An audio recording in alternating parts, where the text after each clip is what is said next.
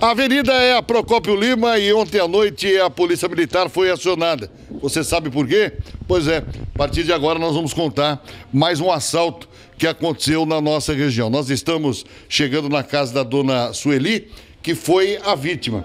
É, por aqui é que eles chegaram, eles entraram pelo portão e aqui começa a história de mais um assalto que aconteceu em Criciúma. O pessoal aqui ó, da Polícia Militar está aqui é, reunido família está reunido, deve estar em busca aí das imagens que a gente já tem e vai mostrar para vocês. A dona Sueli é essa pessoa simpática que está aqui. Eu vou mostrar o braço dela aqui, ó. Isso daqui é resultado da ação ontem dos marginais aqui na casa dela. E, e, o revólver na cabeça. Nós vamos conversar com ela. Conta pra gente, dona Celi, como que aconteceu? Porque o marido tinha ido ah, na missa, é. né? Ainda bem que ele foi rezar, né? Foi rezar. Deu uma força aí. É. é, ele foi rezar. A família não estava e parece que eles bateram na porta, né? Bateram. Aí eu pensei assim, ué, só meu marido que tem o controle. Olhei pra lá, fechado. Pô, não, nem confiança. Aí deram um chute, deram outro e não, não abriu. Deram o que deu tudo a porta foi pra lá. Se eu tivesse, ele tinha machucado.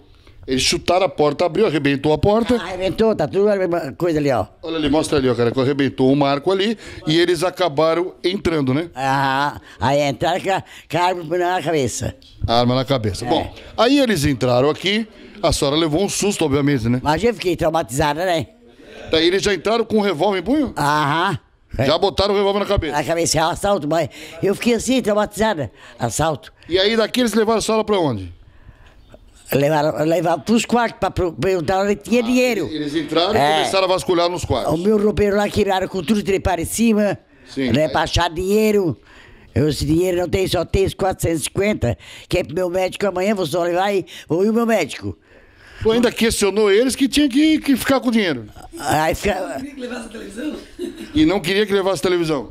Ah, ah. Brigou com eles ainda? 450, podia levar a televisão, achava, né? Três televisão, a coisa ali da internet. Nós tínhamos a antena ali também, a antena daquelas. Ah, também roubaram. Roubaram, quer dizer, roubaram televisão, roubaram antena, levaram o celular, o celular. levaram o relógio. Levaram o relógio, a corrente. Corrente. E mais duas coxas novas que eu tinha bem bonita. Fizeram a feira? Fizeram limpa, fizeram limpa. Fizeram limpa. É. E aí depois eles. eles mas ele, a, a machucada da senhora só foi isso aqui, né? É, não, porque foram me segurar pra, segurar pra eu não falar alto. Porque eu falava, não, tem que falar bem baixinho. Mas não tem ninguém, rapaz. Não, fala baixinho. Se ó, a arma tá, tá aqui na tua cabeça, tu não, não fica quieto, eu te mato. Rapaz, eu tô passando mal. Aí ele assim, então, então senta ali. Sentar não. Aí nós temos a polícia. A polícia são dois bandidos ali. É dois bandidos. A polícia não vem assim na, na casa dos outros assaltar. Não, não, é dois bandidos, é óbvio que é, a gente é. sabe disso. É. A dona Sueli, com certeza. Quem foi a primeira pessoa que chegou aqui depois do assalto? Foi você? Tu pode falar comigo um pouquinho?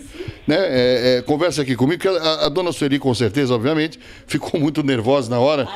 ainda está nervosa. A gente nota que o problema é o, é o após, né?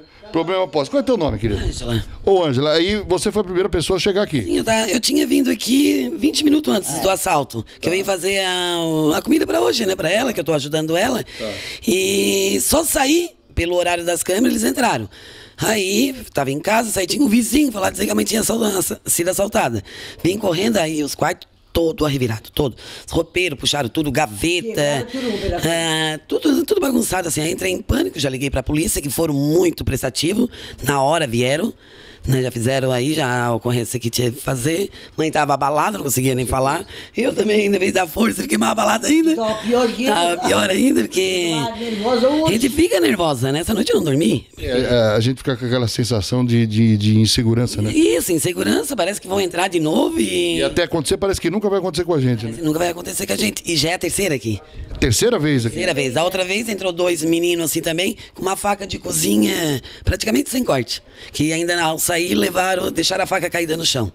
É, então vocês já, já foram assaltados outras vezes? Já. Da outra vez levaram, que ela tem problema agora de, de saúde.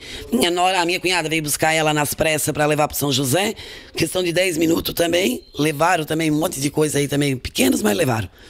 Tá bom, gente, já está aqui feito o registro da casa da dona Sueli. Aqui, acho que é bairro Cristo Rei, né? Não, é centro. É centro? Centro, é. Mas tem uns que não, não tem nada a ver com Cristo Rei aqui. Por isso que a gente tá demorando a chegar, tá vendo? Nós estamos atrás do Cristo Rei. Aí aqui é centro. Ó, o pessoal da polícia, que deve ser o pós-crime aí, que faz o trabalho aí, ó, tá olhando as câmeras de segurança. Nós temos as imagens, né, que você provavelmente já deve ter visto, mas se quiser acompanhar com a gente também aqui, ó, em tempo real, essa é a segurança que o cidadão brasileiro tem que ter hoje. É, ele tem que ter a própria câmera dele para fornecer dado para a polícia, porque na verdade o governo do estado não investe em câmeras em ruas aí, é muito pouco, e aí o cidadão tem que investir. Tá aí mais uma matéria, o que é que você me apontou? Tá ali a câmera ali, Carioca. Enquanto nós estamos fazendo a filmagem aqui, nós também estamos sendo filmados pela Câmara de Segurança da Casa. Dona Sueli, nós desejamos tudo de bom para a senhora, tá? Felicidades, que Deus a proteja, É, nunca mais aconteça, né? que nunca mais É, aconteça. já três vezes. Não machucaram outra vez. Trancaram. Eu e um amigo meu tava aqui, trancaram no banheiro lá na frente. Aí voltaram. voltaram. Ó.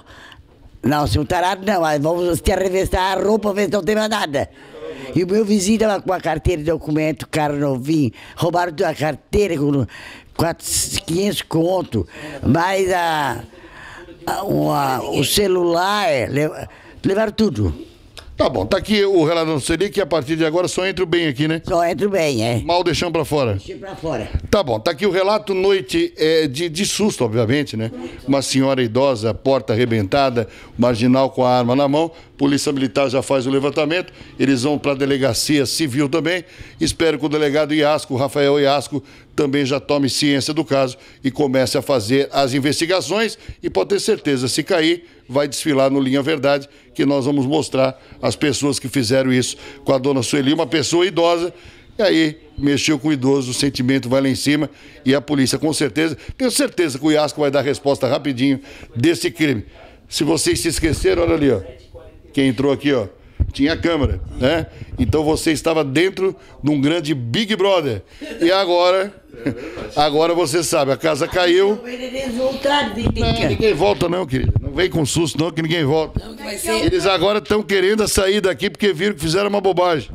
Mais É, ó, essa noite meu marido não dormiu, eu não dormi, o neto não dormiu. Ninguém Todo dormiu. mundo acordado. Acordaram assim, ó, qualquer barulhinho Agora para dormir, quem vai ficar acordado é eles, de preocupação. é preocupação. Tá bom? Tá bom então, gente. Muito obrigado. Dei Sara para o Linha Verdade para o RTV. Mais uma matéria policial.